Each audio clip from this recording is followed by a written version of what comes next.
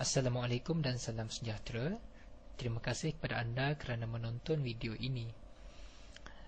Baik, di video ini saya akan berkongsikan kepada anda tiga cara bagaimana kita boleh menjana pendapatan ataupun dalam bahasa yang lain membuat duit di internet dengan menggunakan blog sendiri.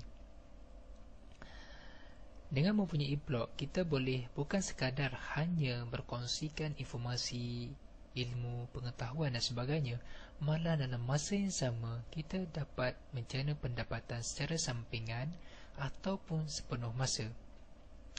Anda perlu mengetahui bahawa Sudah ramai yang berjaya Membuat duit hanya menguruskan blog sendiri Dan meraih pendapatan ribuan ringgit sebulan.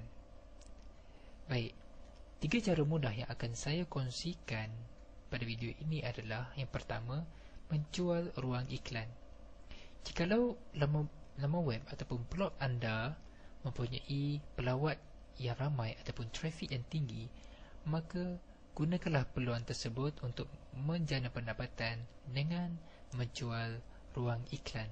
Sebagai contoh, saya menjual satu ruang iklan di atas ini dan juga di sini.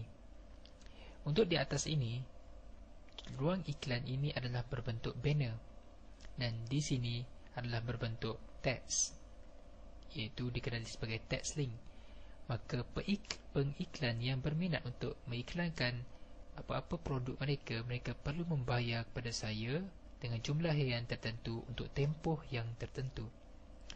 Cara yang kedua adalah anda menyertai apa-apa program affiliate yang berkaitan dengan blog anda.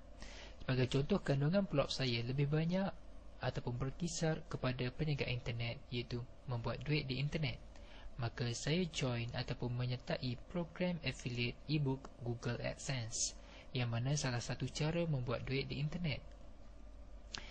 Maka sudah pasti mereka yang datang ke blog saya ini ingin mencari peluang ataupun mengetahui informasi mengenai mengenai menjana pendapatan di internet. Maka salah satu peluang untuk mereka adalah Google AdSense dan mereka boleh mengetahui cara-caranya dengan membeli ebook ini. Apabila mereka membeli ibu ini melalui link affiliate saya, maka saya akan mendapat commission. Itu adalah cara yang kedua, program affiliate. Cara yang ketiga adalah itu cara tidak langsung. Katakan anda baru sahaja melancarkan produk terbaru anda, sudah semestinya kekurangan bakal pembeli. Namun bagi anda yang mempunyai blog dan mempunyai bilangan pelawat yang memuaskan setiap hari ataupun setiap bulan, maka anda tidak perlu bersusah payah mendapatkan trafik ke laman web jualan anda. Sebagai contoh, blog saya ini mempunyai ratusan pelawat setiap hari. Maka dengan mudah saya dapat menarik mereka ke laman web jualan produk ibu saya ini. Apabila, ke, apabila mereka klik pada banner ini, mereka akan dibawa ke satu laman web jualan untuk ibu saya ini.